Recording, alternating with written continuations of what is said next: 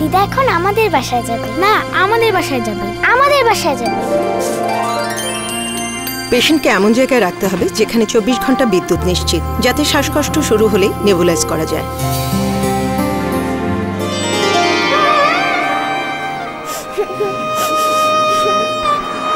কাঁদে না মা। তোমার চাচুর বাসার মতো আমাদের বাসায় সোলার প্যানেল বসিয়ে তোমার দিদাকে নিয়ে আসব ঠিক আছে? আপনার প্রয়োজনীয় বিদ্যুতের একটি অংশ নিজে উৎপাদন করুন সোলার প্যানেল স্থাপন করুন।